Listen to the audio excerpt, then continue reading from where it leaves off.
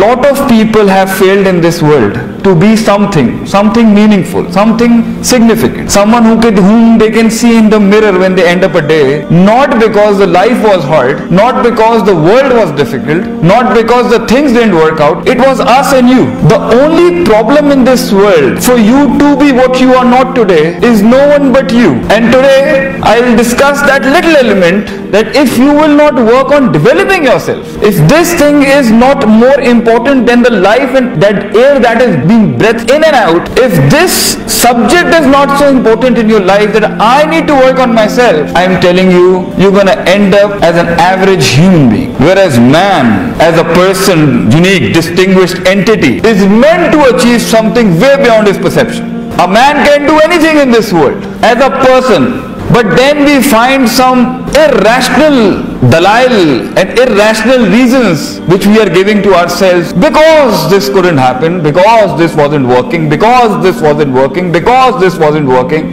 and because and because and because, and you find people have some really irrational reasons, some really nonsensical stuff that they tell themselves for not doing something in life and ending up as an average human being. And by average, I don't say a person not earning enough money. By average, I mean a person not living a resourceful life. Money is not is, doesn't define you. Character does. Your heart does. Your achievement does. What you believed in, how much you worked for it. Skill ठीक करने से ज़्यादा self management की ज़रूरत है. Because a person with a strong self can harness his skill to become a signature in that field.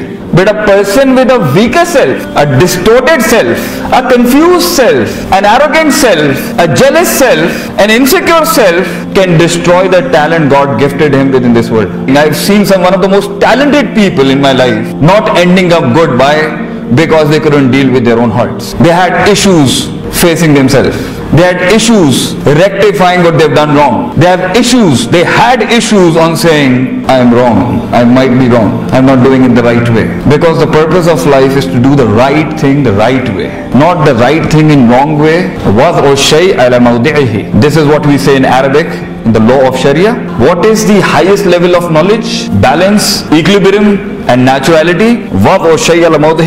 place the right thing on the right place and even the wrong thing on the right place. When it comes to your life, when it comes to your emotions, when it comes to your love, when it comes to your hope, when it comes to your fears, when it comes to your trust, when it comes to your struggle, when it comes to your doubts, when it comes to your desires, when it comes to your emotional psychology, when it comes to your performances, when it comes to your productivity, when it comes to your human psychological interaction with the cosmological universe outside you, when it comes to harnessing resources, when it comes to people, when it comes to non-human beings, putting the things on the right track is what matters. What we find in today's life is there's a big rush going on. Everybody's rushing.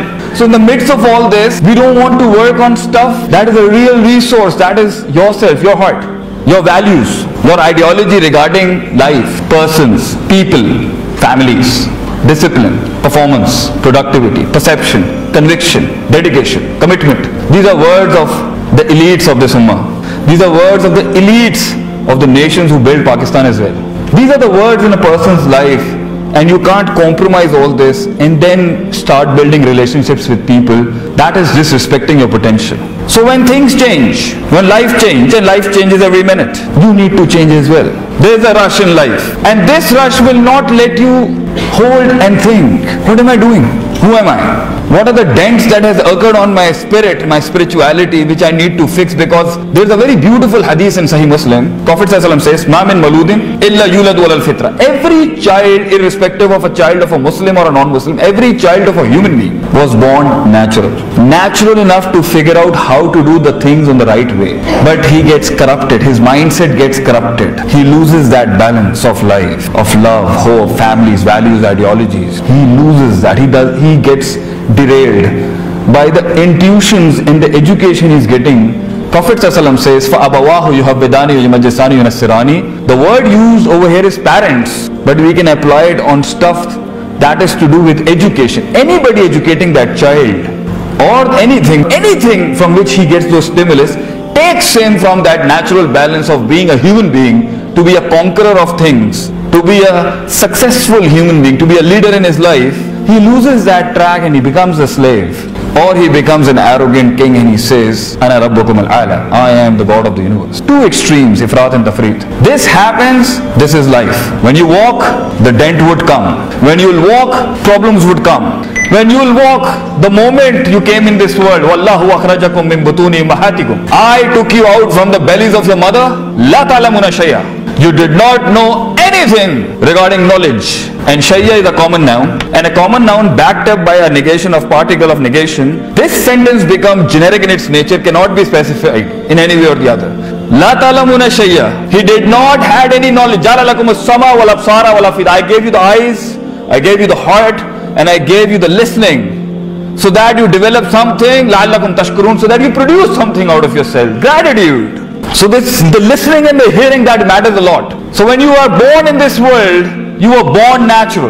And that's why the theologians of the 7th century they say if you do not give imbalanced intuitions, stimuli and education to a natural child, irrespective he is born in any family, irrespective of caste, creed, religion, he would be a natural human being. Religion comes to bring you back to that balance, point to be noted over here is the honorable audience that life when it moves on into the moment it starts moving on, it's moving right now, and right now I'm speaking, you're hearing things are changing, and everybody is perceiving me in its own manner. The moment you move and the universe moves with you, you get a dent in your spirituality, you get a dent in your psychology, you get a dent in your physical, physicality. The dents are there in your life. Either you're born without a parent, or you're born an orphan, or you're born with a, without a friend, you come from a middle class or a lower middle class, or you're not the most smartest kid of the town, you're not the most beautiful person as defined by the laws of beauty that exist in our society. You might be the most beautiful person because of your character, but this is what, what it turns out to be. The definition of beauty is defined by the world as the physical outlook of an outward dimension of a person. So you might have taken that hit that the world is not considering you beautiful. The world is not considering you having that head to do one of the most miraculous work in this world. You might not have a car. You might not have a good friend to talk to. You're not the most wanted child of the college.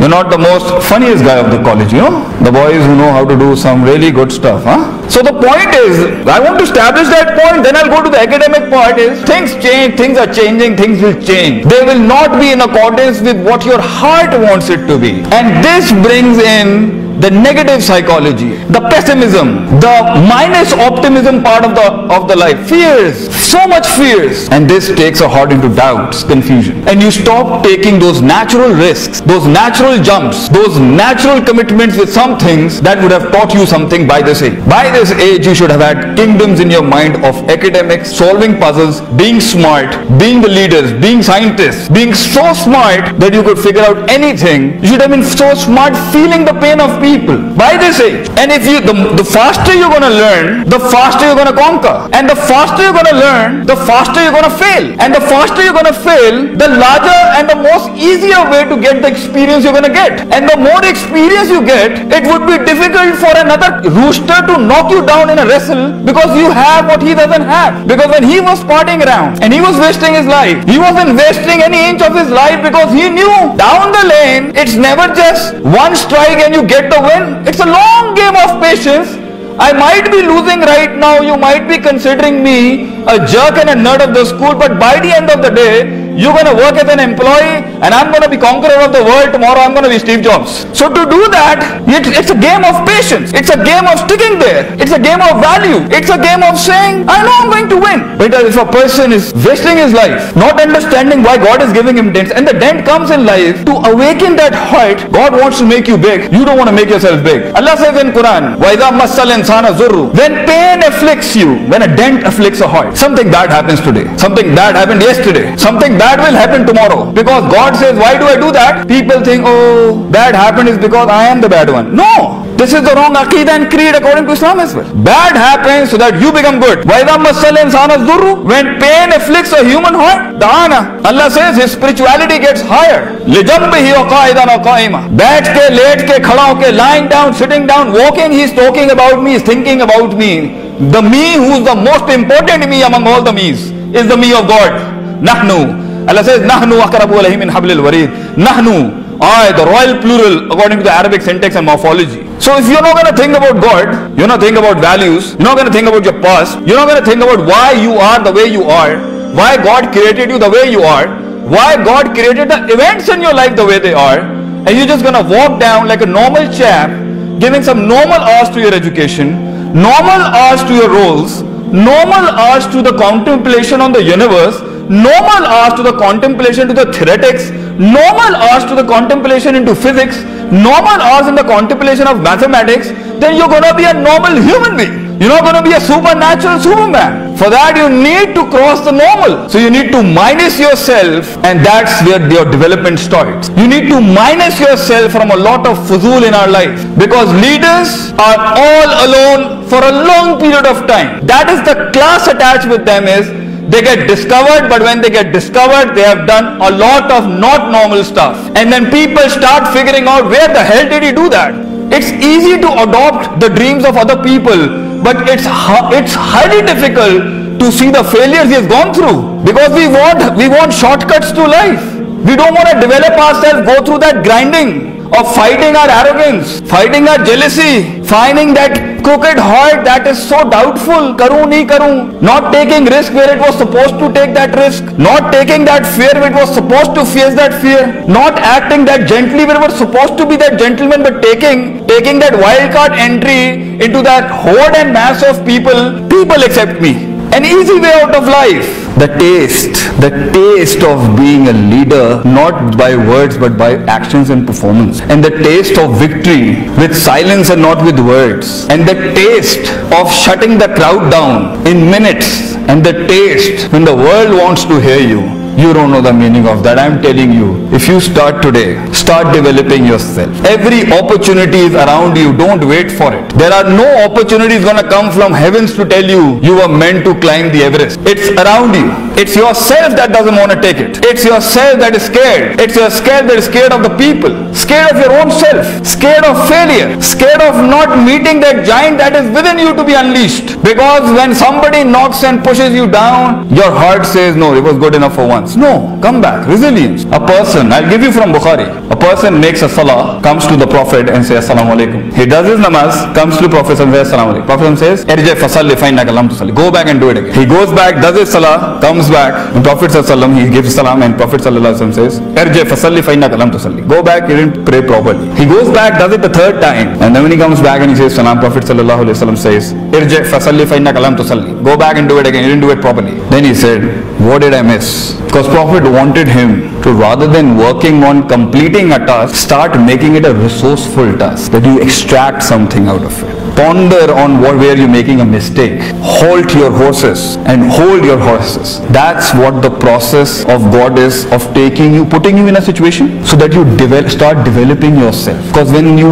you're in a situation, you're failing, it's not working, you're getting the pain, you're getting grinded, you're getting nailed, you're getting thrived, you're getting strived, it's not working, your patience is falling apart so that you start pondering. Somewhere the fight is of strategy and somewhere the, the, the fight is about struggle and self-control. Tangal theory figure it out. Then see SWOT analysis. What is SWOT? S-W-O-T. Strength, successes, opportunities and threats. Figure that out. And whenever you do something in life, after an hour, first it will happen in a month, then it will squeeze down to a week, then it should squeeze down in a day, then a day should come in two hours, that Allah says, Faida farakta, fansab, waila rabbika farga. Then when you get done with the worldly affairs, do what? Do another worldly affair. No. God says, Faida farakta, when you're done with it, dents would have come. Dents would have come in your values. Dents would have come in your psychology. Dents would have come in your personality, your values, your standards, your positives, your negatives, your optimism, your pessimism, your friends, your foes, your enemies, your opportunities. Everything gets shaken apart when you walk through any incident in life. Even this one hour lecture would have shaken a lot of stuff. What should you do? Faida farakta fansam? Waila dunya farga? La. God didn't say dunya farga. Go and run towards the dunya again. Open new books and new chapters. No, he says waila rabbika farga. Start contemplating on the cosmology of this universe. Start contemplating on God. Start contemplating on why did happen, why this happened, why did this not happen. The plus and the minus. Get it in the balance. Take the walk again. Do it again. If you've gotten agar us incident se you've gotten scared, bring the fear back to the balance. If you've taken a hit in and you have started hoping a lot, more than it was required, bring the hope back to the balance. If you have become hopeless, bring the hope back to the balance. If you have become too angry, bring the anger to the balance. Waila Rabbi ka farqa, balance. And the only balance a self can get is by putting his heart with Allah. Because nothing in this world can soothe and pacify a wounded heart. For you to play a long walk of life, for you to play a long struggle of life, for you to strive for a long career in life, nothing in this world can be so satisfactory that you say, fine, I'll do it. It has to be a guarantee from God. It cannot be a guarantee from a human being that would keep you moving because the guarantees and the guarantors of this world, the, they will exhaust your physical heart, they will exhaust the physical body. But where the body fails, it is the heart that takes you ahead. And the heart, qulub. It is the guarantees by God. It is the guarantees on performances by God that a heart gets satisfied, that a heart gets hopeful, that a heart gets resilient, that a heart takes the hit again and the hit again and develops and falls down and takes the hit again. And all this process, if you start today, I'm ending it up. All I just wanted to say, I have talked a lot of stuff here. Some might not have made sense to you, but one line is good enough for you to learn something today. The process is long. You have very little resources. If you have 50 crores and if you're fighting a battle against 50 crores, you're never gonna grow. If you have 50 crores, beta, then you need to take the opponent of 250 crores. Why? Because with the lesser resources, if you fight a bigger giant, you will lose, but you will extract all the knowledge out of him. So what's the use if you have conquered a station in life? If you have mastered the art of living at your age, why are you hanging around the person of your age? Why aren't you competing with a person ahead of you? Why aren't you taking the challenge against your body mass? Why aren't you taking those obstructions which you haven't dealt up till yet? But you can extract a lot of learning out of it. If a badminton player will play against a badminton player of his own potential, I'm telling you, after seven days, your smashes and your drop shots and your logs all are gonna fall down. Always fight a higher opponent, and that would bring you to use your minimum resources in the best possible manner. And for that you need the most beautiful subject I worked on, the corporate and the spiritual art of war. कि छोटे से resource के साथ कैसे फारस और रोम fall down with one man कैसे Steve Jobs ने इतना बड़ा एप्पल खड़ा किया this is your life you you the that you that is always saying me me and me make yourself worthy of that you and make yourself worthy of that me not by just firing bullets off your mouth, but by your performance. Thinking, contemplation, hold, halt. Nothing has changed. Nothing is going wrong. It was never an easy walk of life. It has always been hard. Develop yourself. Work on your heart. Work on your psychology. Nothing is going wrong. Just take out there. Just wait there. I'm telling you, it's gonna go. These thunders, these darknesses would go. But if they don't teach us anything, if they don't develop that strong heart of a leader, a conqueror, a patient, Yusuf alayhi salatu wasalam, in his entire uh, struggle of life in getting actualized, gets